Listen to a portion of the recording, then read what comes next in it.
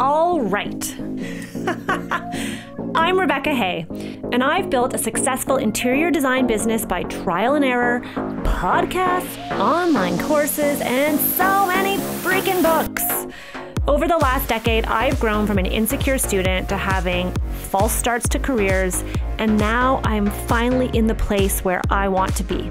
Throughout my journey, it's been pretty obvious that I'm passionate about business and helping other entrepreneurs do the same. Each week, I'll share tangible takeaways from my own experience and the experiences of other badass women to help you build your confidence and change your business. Welcome back to the podcast, Andrea. I'm really excited to have you. We did a shorty with you, and everybody is desperate for more. So here we go. Can you introduce yourself to our listeners who are new to your story? Yes. Well, first, thank you, Rebecca, for having me back on your podcast. I'm so happy to be here again. Um, my name is Andrea Krill, and I'm the founder and lead designer at Andrea Krill Interiors. Um, I run an interior design firm that's based out of Philadelphia's Main Line area. We offer full service design for both decorating and renovation projects. And I really tell people that we excel at creating colorful, beautiful, livable spaces for busy professional families. I am also a wife and a mom to four beautiful, but very loud and very crazy kids. So we also have a busy household here. Um, a bit of background about me I spent nearly two decades in the accounting and finance industry um, before pivoting to design. Um, and I know that I'm not the first accountant um, to turn into an interior designer, but I do often get asked um, how I transitioned from being a CPA to running a design firm. And I have to say, I was really greatly influenced by my upbringing. I grew up in a family. Um, my dad was a contractor, a master carpenter, and he built the house that we grew up in literally nail by nail, board by board, um, on in his spare time on nights and weekends, with the help of all of his friends and family members that also were in the trades. Um, during that time, we lived with my grandparents who were antique dealers, and so I spent a lot of time with them on weekends, going to different antique markets and fairs.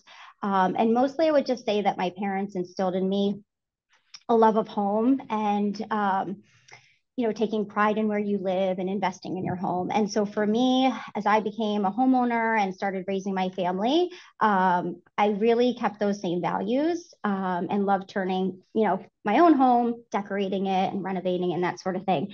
Um, i'll have to say friends and neighbors um, family members they started to take notice. So they would ask me um, you know for my design advice or help and i was always happy to do it. Um, with that said, you know, I was not always a designer. I pursued a really traditional career path as an accountant. Um, and I think somewhere along the way, I just realized that there was more for me out there, um, something bigger and better, and that happens to be design. So, oh my goodness, I, I, love your story. I love oh. that you come from like CPA, like what? Like everyone's looking to hire CPAs because they don't even want to touch the numbers. People don't even want to do their own spreadsheet. So uh, I think that's going to be a huge asset to you. I'm sure you're already seeing that inside your design firm. A lot of designers do not enjoy that side of it or or even have really the skill set to do that. Um, and I love that you moved, and we talked about this in the shorty episode, like this idea of why you wanted to move to starting your own design firm. And guys, you can go back and listen to the shorty episode. We'll link that in our show notes. Um, but what I'm really interested in is a little bit more of that story of like working full time for what was likely a very demanding career, I imagine, um, and raising a family of 4 mm-hmm. to then deciding you wanted to do a design business as a side hustle.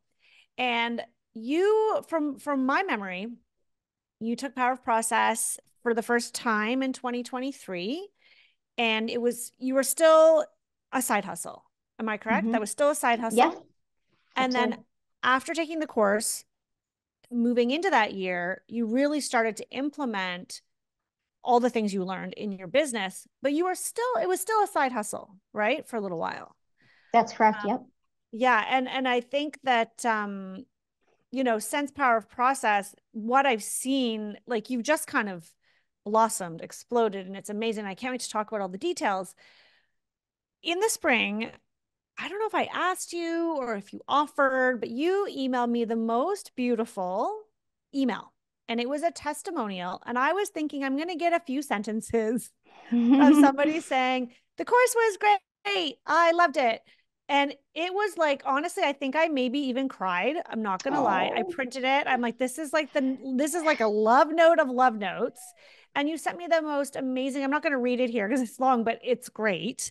And we will be using it everywhere. But you talked about how power of process truly has changed your business and and how it really built confidence for you. And I'm, I'm I can't wait to hear a little bit more about that transition from side hustle to full time like interior design firm owner with like mm-hmm. people mm-hmm. like people working for you, part time mm-hmm. employees. Um, but a few things that you said, just so people can kind of like get their ears up. Like if you're if you're multitasking, come back to us right now. you after taking the course and really deciding you were going to make this design thing work because it was a side hustle for i think three years you said. Mm-hmm. yep. you quit your day job right? You took it to a full-time profitable business. You hired your first part-time design associate. You we're gonna, we talked about this a little bit in the shorty episode how you doubled your leads. The total number of leads you had in 2023 was 25 and then in the first quarter alone of 2024, you got 44 leads. you achieved a nearly 70%. These are your words from your email. I don't know if you, don't know if you remember writing this. Yes, achieved, I do. I do. do. I love it. Yes. I love how specific and concrete. You can tell you come from an accounting background. like you're like, uh. these are the facts. You achieved a nearly 70% lead conversion rate from a discovery call to booked consult. I love that you're tracking that. You sent out proposals for design fees you could only dream of people accepting. You also had taken pricing with confidence, my course where I teach mm. you hmm. how to price your services. And you say, trust me, still a lot of no's due to price objections, but the clients that are signing on trust me and the process and are a joy to work with. You say, I am truly living my dream. I know it's just the beginning. Pop has given me the framework to be able to scale my business to the next level. And I am witnessing this. All of this happened in under a year. Oh, yes. Mm-hmm. Let's mm-hmm. talk about this. Like, yep. how did you go from side hustle to full time interior design firm owner? Yes. Well, I mean, you, you know, so glad you read that because everybody should know how influential your course is for designers. And I remember drafting that email. I think it was the night before I left for High Point Market because I knew I was going to see you. And I knew there was no way that I could just tell you in person how impactful your course and your resources have been to me. So I was like, I just need to get this out on paper um, before I see you. So that was the impetus for sending it. Um, so that when I saw you in person, you knew how much you had impacted my life. Um, but yes, so moving from side hustle to full time, um, I'd love to share a little bit about that. I um, I don't want anyone. It definitely was not overnight. Like as you mentioned, Rebecca, I did you know, for over three years, work um, both jobs. And there were some key things that I think that I did as a side, as running my design business as a side hustle that ultimately set me up for success. Um, and so they might go against the grain with some of the um, traditional advice that you get from people. But the first thing that I would say that I did, and this is very ironic coming from an accountant, but I really ignored the numbers. So I know that's going to sound very odd. Um, in the beginning of my firm, beginning of running my, I wouldn't call it a firm then, but beginning of running my side hustle, I didn't need, I had the luxury of not having to worry about making money, right? I wasn't paying myself. So what I focused on was um, gaining experience, really serving my clients well, and getting finished portfolio photos. So I wasn't always worried about getting the highest design fees or um, making the most margin on products. What I really did was, um, you know, bid lower on some projects to just get the experience. Like the first time someone came to me and um, I had the opportunity to do a full room from start to finish, like a you know empty space.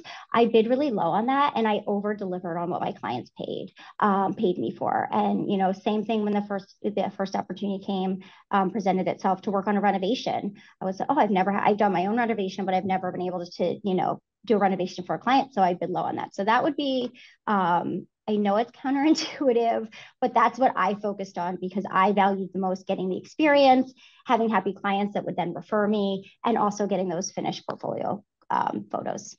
Wow. You know, I think that's actually really good advice because I think not not that I would ever suggest someone ignore the numbers. I mean, it's helpful to track them, but you are also mm-hmm. the type of person who was always going to be tracking the numbers because that's who you are. Uh, but there's so much value in building your portfolio, and there's two ways to do it the first way is you do your own house, right? There's people who have the means to do what they want in their own home and then they can showcase their talent that way and then start to bring in jobs. Or the second way is like you said, you take on whatever projects come your way, you do things for friends and family, you do things for free, you offer your services for a charity or whatever it might be just to get some examples that you you need proof that you can do what you say you can do. Mm-hmm, so absolutely. I love that. That's actually that. That's yeah. really I love that you've shared that. It's against the grain in the sense yes. of like we want you making money eventually.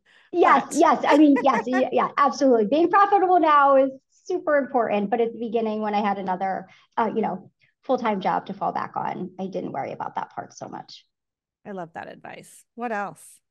What else? Okay, so this goes back to power of process as well, and you know, casting your vision. But I think from the beginning, I got very clear about the services that what I wanted to offer, um, the level of design work that I wanted to be doing, um, and the clients that I wanted to serve. And so um, I know a lot of people will tell you from the beginning, just say yes to everything. But I really had to have the fortitude to say no to a lot of pro- projects or clients that didn't serve the vision that I saw for my business um, to let to have um, the space and the opportunity to say yes to the right clients that came along. So I really did have to protect my time and my energy because it was a side hustle. And so, um, you know, of course I said, you know, the very first clients that came to the door, of course I said yes to, to pretty much everything. Um, but once I had some experience under my belt and once I had started to build that portfolio, I really only said yes to the pro- projects that were full service design projects um, that had a really healthy budget that, you know, so that I could do the level of work that I wanted to do and so that I could get those professional photo- photographs. And that was important to me um, because I was doing this on the nights and weekends and I was taking time away from my family and my kids. And so I had to protect that space and that energy so that when the right projects came along, I could say yes. That's great. I mean, it, that is probably one of the scariest things that a business owner ever goes through is is saying saying no to a client or sometimes it's not directly saying no it's it's setting your business up in such a way that it deters some people they might say you're too expensive your timeline is too long whatever it might be and those are those um it's almost like a boundary you're putting in place to only let the right people in and that can be scary because there's the fear of well what if i say no to them and then i don't get another job mm-hmm. so what i'm hearing you what i'm hearing you say is like you were able to do that because you still had the revenue or the income from your day job so that okay you could wait it out and see if another client came but it sounds like even if you hadn't had the day job, that was the right choice to make because it quickly opened you up to the opportunities with the right people. Yeah, uh, you're absolutely right. Yep. Yep. And you and you're how you described that as well. Like you're not saying no to people. You're exactly right. I never just said, no, I'm not going to take your job. It was just more explaining what I offer and the level of investment that that requires and how I serve my clients. And people self select themselves out after that. Oh, I'm not, you know, I'm not looking for someone for procurement or to do the project management, I can handle that. I'm like, okay, you know, and I just would explain, well, that's not the level of service that I like to bring to my clients. So, but I'm happy to refer you to a fellow designer in the area that I know is would be perfect for you. So, um, yeah, you're exactly right. It wasn't always saying no. Um, I would always take the time to help set those different people, you know, leads up for success as well, referring them out to different people or kind of giving them um, some resources to use. Yeah, and that speaks to your integrity too, right? It's like I I ultimately you're not going to be served very well if I try to tweak and acquiesce and do things the way that you think they should be done. It's just not going to serve either one of us. And so let me find someone mm-hmm. who's a mm-hmm. better fit. And then yeah, you can go both exactly going your ways. I love it. Yep. Yep. What else? What else? Um, okay, so, so I, just want to I have a few. Going. I have yeah. a few. Um, my next one is offer procurement services. So I knew from the very beginning that, um, you know, just from listening to thousands of hours of podcasts and reading all about the interior design business, that I would not be able to run, um, eventually do this full time and be profitable if I did not offer procurement.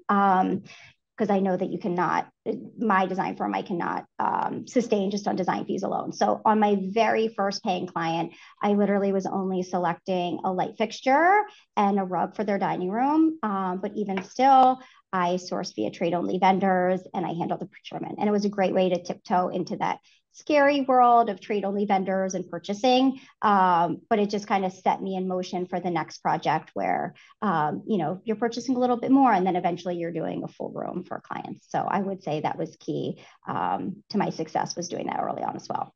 Okay. So this is a really important point, And I do want us to just take a moment for this point because you come from a financial background. Uh, mm-hmm. Uh, and it's so interesting because there are still designers out there that don't make money from product. And I'm sorry, just before I go there, I'm assuming you do not share your discounts with your clients or your markups, right? You are you are making a profit on each item in addition yes. to your design fee. Yes, yeah. correct. Yep. Okay. Just to be clear, in case anyone's wondering, what does she mean by that? um, and I obviously talk about that all the time because I noticed for me that that was a big bit of money on the table. And I've had lots of conversations on the podcast about it. But I think it's really interesting, especially when I speak to others like yourself who come from a numbers background, who come from an accounting financial background.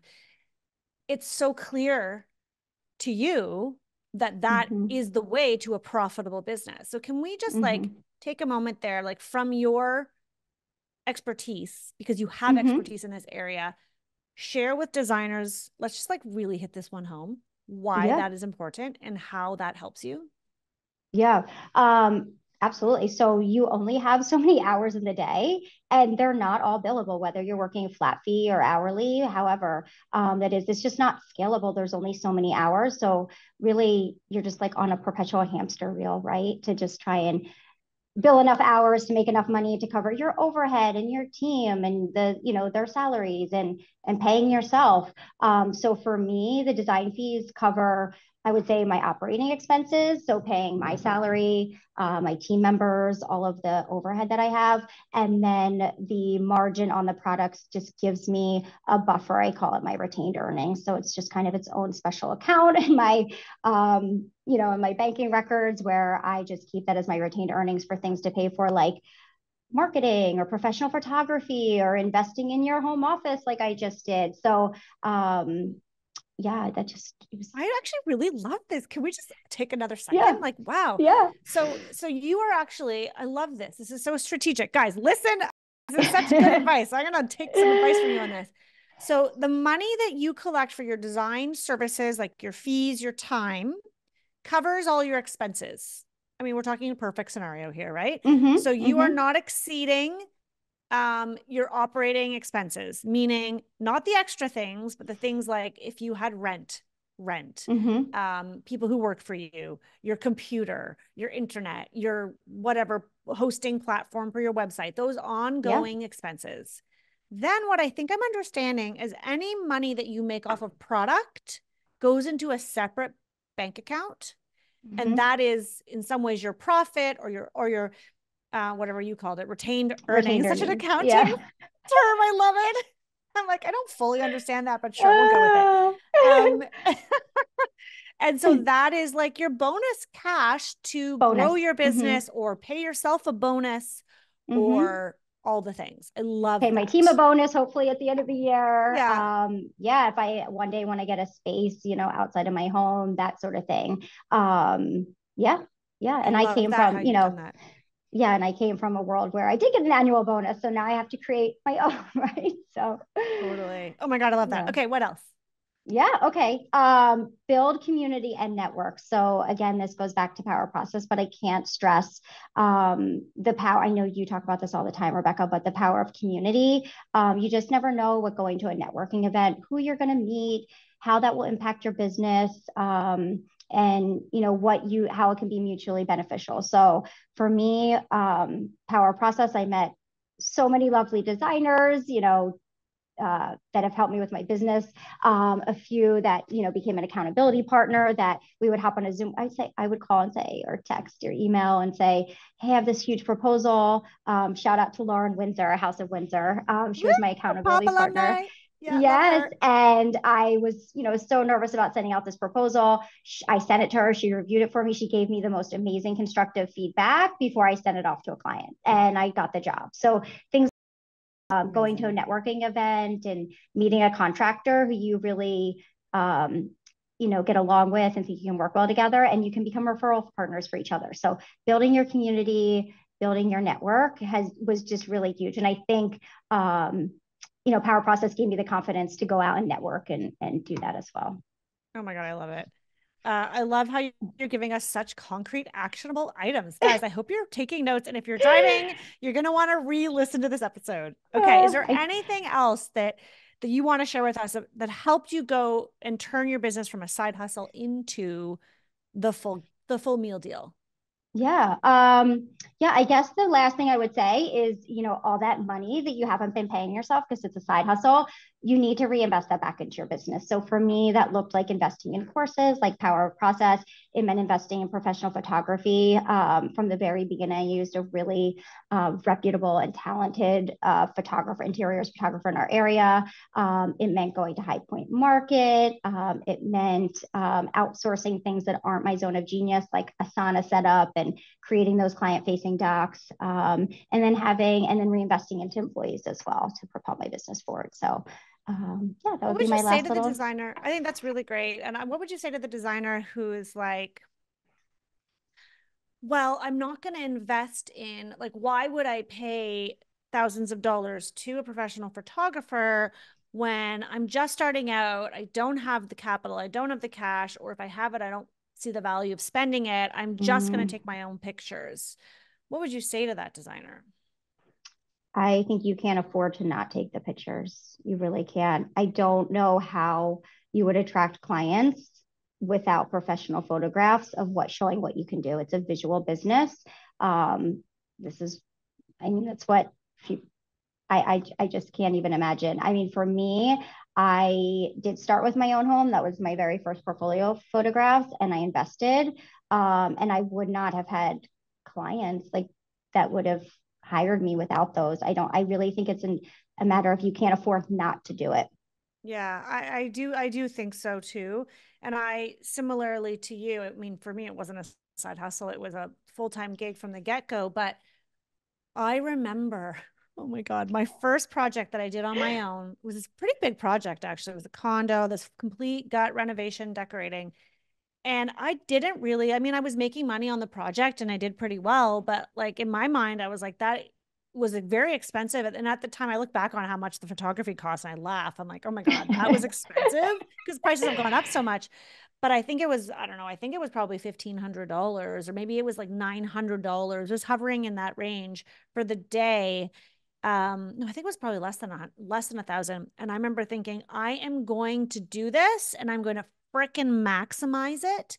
Mm-hmm. And I went to HomeSense. I went to every store where I could buy anything that I could return from accessories. I brought yep. in my own area rugs because there were things that in the end we did for the client that weren't necessarily really how I wanted to project my brand. And I came in with intentionality and I hired an assistant just for the day and she helped me unpack and style. I did most of the styling so I could capture as many. And I was like squeezing that photographer. I was getting as many shots as I could that day because this was gonna be my marketing for like a year, and it was a marketing exactly. And then in the meantime, while I was styling and working with the photographer on the shots, the assistant was packing everything back up, putting things in the HomeSense bags. We had to take pictures of the client's house because it wasn't my house, so that we knew exactly where to put mm. all their little tchotchkes back. Yeah. Right? Because it's a lot of yes. work. And back then, it's so much work. I waited too long to do my photo shoots. Like now I do them immediately right when we finish mm-hmm. the project. Even if there's like a couple things missing, I'm like, I don't care because I learned the hard way that once clients are living in their space for a few months, like they make it theirs, which is great for them, but not always great for photography. And right. it was an investment. I remember feeling stretched to do it, but I used those pictures, social media, website, internal, like I used them for years, like years for my business. Yeah the return on that investment for that one thousand or fifteen hundred dollars. You can't oh even God, quantify totally. how much work that brought in for you. Yeah, yeah. absolutely. Yeah, yeah. and absolutely. I know how much work that is. I did the same thing. I mean, I sent my I photographed my own house. I think I sent my kids and my husband away for four days to my in-laws so that I could stage, prep, and have have the space to myself. Um, but same thing, the HomeGoods shopping and the returns, and even my first few photo shoots um, for clients was the same thing. I I pretty much was just styling their home for free. Uh, and that goes back to my, um, you know, first point, like, you know, they weren't paying me to do it, but I offered to style it. And I just said, you don't, you're not obligated to keep anything. Um, but I'd love to style it for you and see if you like it. And I'd love the opportunity to photograph your home. And they were like, sure, there's no risk to them. They weren't paying for me. They weren't paying ahead of time for the styling pieces. And honestly, they ended up keeping everything and the photographs came out. So it's worth that investment of time and energy and money really um, yeah. to help propel your business forward. I love that. So what would you say now is your focus? Like now, so let's talk about what your business looks like today. Mm-hmm, so mm-hmm. is, we're talking, you know, side hustle, turning it into a full time deal. When did you when did you quit your day job or like dedicate your full time your yep. sorry your time to your business full time? Yep, early 2024 is when I decided to go full time, and I brought on very quickly. I realized um, to be scalable and you know profitable, I would need to bring someone on. So I brought on my first associate designer, Riley. She's amazing. Um, really funny story about how I hired her, but essentially we sat together on our um, the PTO board at our children's school, and I had no idea, um, but she majored in interior design. So once I found that out, I asked her to coffee um, asked her if she would be willing to come on board on a part-time, you know, contract basis. And she happened to be looking for something as well. So the stars aligned and it's been fantastic. Um, so she's been on board for a few months now. And then I quickly realized once I was full-time that just due to the, the process, like Riley, you know, I'm handling phase one, the leads, Riley and I are in phase two together, but I can't, it's really hard to onboard someone when you're still doing phase three project implementation. So I realized I needed help on the purchasing side. And so my second hire um, was a part time employee who focuses, um, her title is Operations and Procurement Associate, and she's going to focus on um, project management, project implementation, tracking orders to make that. Um, to make phase three like a really wonderful experience for our clients as well. I love that. I love that you have help and you've been really specific about it about like there's help in the design phase where we're focusing on making the selections, committing it to the drawings, et cetera, et cetera, presenting it. And then it's a separate type of help. My gosh, I feel like, oh, if I'd only done this. I know so many people have learned from my mistakes, but dang, like I tried to have one person do all of it. Oh, yeah. And then what would happen is exactly what you said, Andrea. It was like a bottleneck we couldn't mm-hmm. we couldn't start the next design project as well as we wanted to because we were still busy managing the ordering from the yeah. previous project and like good problems to have but those are the growing pains that that can can hold you back from growth actually if you're not mm-hmm. really specific and strategic about it and so at the time i think i had a different mentality where i thought i just need to get and people listening could probably relate to this i just need to find like a mini me like i need mm-hmm. to find a design assistant who can do a little bit of everything like me and I can just delegate everything and they can manage the orders and it makes sense, right? Because then they know what we've selected, what we've designed.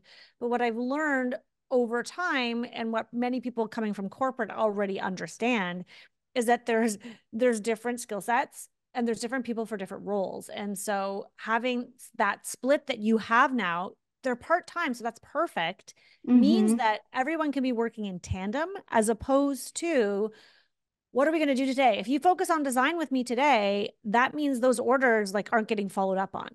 Or right. that means, remember, we didn't get back to the upholsterer. Uh, he had a question about do we want to do a top stitch or what have you? But then that email gets pushed, and then everyone feels spread thin and stressed. So good for you for recognizing that so early in your business, woman. Like, Thank you. Thank kudos you. to you. Yes, I appreciate that. I'm really excited by the team that I've built and, you know, hope to invest and grow in them over time as well. I know as my business grows, like I've definitely hired amazing women that can grow with my business as well. So I feel very fortunate to have found amazing people and, um, you know, that care about my business as much as I do as well. So I'm very fortunate. So talk to me about your experience going to High Point Market. Was that your first time in 2024 going to High Point? Yes, it was my first time. Um, and I wish that I had gone years earlier. Um, it was amazing. Um, and I do think it helps propel help propel my business forward as well, for sure. Um, what do you think? What What do you think about it? Do you wish you'd done sooner? Um, I I mean, trust me, I love to source on the internet, but there is something about getting in front of vendors and making those connections with your reps, uh, seeing the products in person. Um, I'm really particular about what I source for clients and what I put into their homes and being able to communicate to my clients that, you know, I've invested time and money in going to North Carolina, sitting in the, the best sofas and testing the, the best case goods. And that's what I've selected to put in my client's home. So it's helped from a sales perspective in that I can really um, sell furniture that my clients don't have the ability to sit in or touch or feel or see in a local showroom. Um, and so that's been huge. And also just new vendors. Um, there's only so much you can do on the internet. Um, and so just walking around, you know, a whole city of furniture is such an amazing resource. And then, of course, community. Um, you know, you had your meetup at High Point, so we got to meet so many other fellow um, designers, designer room members, and Power Process alumni, um, and just having that connection, those making those connections that I've continued to foster those relationships and friendships even after leaving High Point. Yeah, I love that. I, I agree. I think the community is so important. But what I think is really interesting, and I think it's something for many of you listening who haven't been to High Point, um, okay, yes, you can pick things on the internet. But I almost think that now that the world has gone more digital and showrooms have less product on their floor, like not at High Point, like in cities and towns, mm. it's actually almost more important than it ever was for a designer to go and see and touch and feel and get to know the product because you might be able to order direct in your town from a from a from a shop that sells that line but they're not carrying inventory anymore like mm. gone are the days of inventory being in the city where you live like when i first started my business no sorry when i first started working for a designer there were there were places in Toronto that you would go and they what you saw on the floor was what you could order. Mm. Now they have less square footage. They like look at a catalog, they're showing you online. So it's such a benefit to your clients to be able to see, touch, and feel. And I remember Andrea being with you. I don't remember which showroom it was. Oh, I can't remember. What was the one? It's like in that main building across from I what is it? IH IFT or oh, whatever. Oh, IFHC. Yeah. International whatever. Home for IHFC. Yes. Yeah. Oh my God. Okay. Which one? Um, what is this? Um, where we met Jill and her, oh, yes. her rep was there. And yes. what was that for? What was that one again? Um, was not it, it Lee? Wasn't it Lee? Was... Oh, Rowe. And then, uh, or, yeah, Doesn't I think matter. we started in Lee and then we went to Rowe. Okay. Anyhow, we went in there and you were sitting on a on a couch and you were like, oh yeah no i just ordered this for a client. Uh, i think you said that right? The uh, yeah maybe the uh, or i was thinking about it, maybe the you were thinking about sofa. it yeah you were trying to make a decision yes yes yeah and it was so and i and i was like witnessing firsthand like the power of that like you're actually mm-hmm. like you're about to place the order for a client based on what specifications and maybe some other things but there you are sitting in it and you're testing it and you're leaning back and they're turning it into yeah. a bed or they're you know reclining for exactly. you and you were able to like do these sit tests which was a bit overwhelming right because it's like at some point they all start to blend together all the showrooms yep Yep. But you take uh. notes, you take pictures so you can remember um like what a benefit to your clients. And I think that also yeah. adds to your level of professionalism and will help you uh, as you grow and scale really quickly. Yeah, I mean, we are asking our clients to trust us with a huge investment um, in their home. It's emotional, it's a big financial investment. And to be able to say to them, you know, I invest my time and energy as well to ensuring that the money that you're investing is going to wonderful products that I stand behind. So it's it's been huge and instrumental, and I'm looking forward to going back, making it part of my annual visit.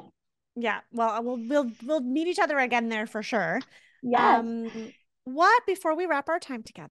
Mm-hmm. I feel mm-hmm. like you've given so many nuggets. It seems greedy Aww. to ask for more. No. Um, what is a last nugget of wisdom that you would share with our audience today? Yeah, I'd love to share a little nugget. So, in the beginning of my business, like most people, I absolutely struggled with imposter syndrome, and at ver- and in various points um, and situations, I still do. Um, so, this one I've always just carried with me. So, it's just do not be afraid of what other people think when they see you trying. Put your head down, do the work, and on focus on becoming the best at what you do. Love that.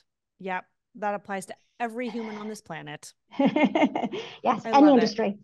Yeah. And you know what I like that you that you highlighted actually there is when they see you trying. Mm-hmm. That to me resonated. That's what matters, right? You're fucking Absolutely. trying, right? and so, like, yeah. who cares what people are saying? Like, they're not trying. Like, don't. It's hard to tune. It's hard sometimes to tune out the noise. Um, but that is such a great reminder. So thank you for that. Thank you so much for being Absolutely. my guest on the podcast. I'm so oh excited gosh. to follow your journey and watch as your business totally explodes because it's already happening and you've barely been doing this for a hot minute. I love it. Um, can you please let everybody know where they can find and follow you? Yeah, absolutely. Uh, my business name is Andrea Krill Interiors. You can find me on Instagram, Facebook under the same name, and my website is andreakrillinteriors.com as well. Amazing. Well, thank you so much for being my guest today. Um, I can't wait. I know this is going to really resonate, really resonate with everyone. Thank you, Rebecca. It's certainly a pinch me moment for me in my uh, design journey and career. So thank you so much um, for having me on today. I really appreciate it. Okay, that was amazing. Guys, isn't she so smart? Andrea gave us so much information. I hope you took notes. If you didn't get to, go back and re-listen to it. She also did a record uh, a shorty episode with me, which you guys will enjoy. We'll link that in the show notes. Um, I love this idea that you can move from a side hustle to a full-time profitable business by focusing on a few key elements. And of course, the money side, she she knows her money inside and out, but the idea of like, okay, I've I need to to focus on procurement. The only way I'm going to be able to grow this and scale this to make the revenue I want to make is by reselling products to clients. And you guys hear me talk about this all the time. I feel like a broken record, but it's such a great reminder that you need to look at the money. And, thank you, Andrea, for saying that at the beginning you really did ignore the numbers because there is something to be said for getting some a bit of portfolio uh, work so that you can show and prove that you can do what you can do. But very quickly, if you're going to do that, you need to start finding the ways to make money. And so thank you for sharing that. Thank you for sharing your bank tidbit. I'm like, oh shoot. I feel like why haven't I done that? It's such a good idea of separating the revenue that you receive for your design fees and services and time from the money that you're receiving for products, like the profit you make off of the products, um, and seeing that almost as the gravy that you can reinvest in your business.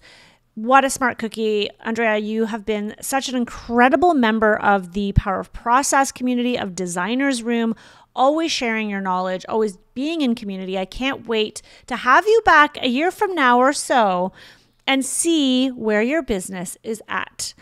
Thank you again for joining me today. I hope you guys enjoyed this episode. Please let me know if you are liking these episodes where you get to hear from past students and designers that are up and coming, hearing their journey, uh, because I always want to hear from you guys. Leave me a review on iTunes, please, please, please. If you enjoy this podcast, if you've been binging it, please leave me a review, five stars if you can, um, so we can get more eyeballs or eardrums on this. And that's it. I'll see you soon. Have a great day.